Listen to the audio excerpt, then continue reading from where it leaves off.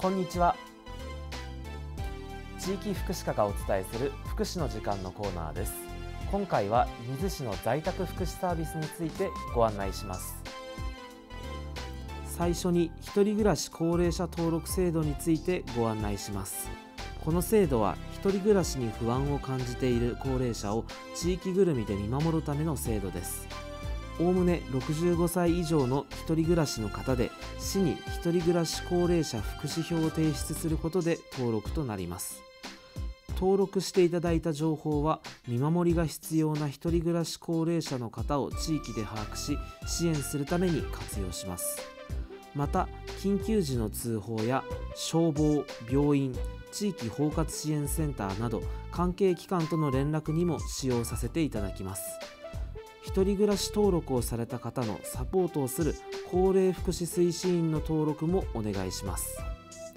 高齢福祉推進員は一人暮らし高齢者の自宅を定期的に訪問するなど日頃から声かけや見守りを行っていただく方です。また民生委員の方と連携し一人暮らし高齢者を支援していただいています。高齢福祉推進員はご近所の方などご家族以外の方ならどなたでもなることができます。次に緊急通報装置設置事業についてご案内します。おおむね65歳以上の1人暮らしの方などに緊急通報装置を貸与しています。ご自宅のお部屋に装置本体と日常の行動を感知する人感センサーを設置します。緊急時にご自身で通報していただくほか人感センサーにより生活リズムに異常があると判断された場合には自動的にコールセンターへ通報される仕組みになっています。設置にかかる費用や利用料は月額400円。緊急時の通報の際に発生する電話料金などは自己負担となります。また介護保険の利用者負担割合が2割以上の方や合計所得金額が160万円以上の方は対象となりません。こちらの装置を利用する際は原則1人暮らし登録が必要となります。緊急通報装置のサービスの大まかな流れについて説明します。まずは申請時に最大3名の協力員を登録していただいております。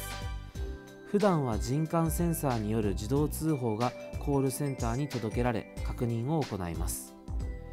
人感センサーに反応がない場合やご利用者様から緊急通報があった場合はコールセンターから利用者に電話による状況確認をします。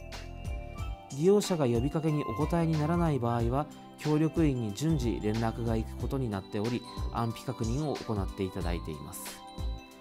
またコールセンターからは月2回電話によるお元気コールを行い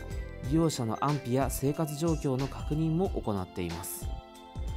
これらのサービスについて利用を希望される場合は地域福祉課または各地区センターに申請書がありますのでご利用ください。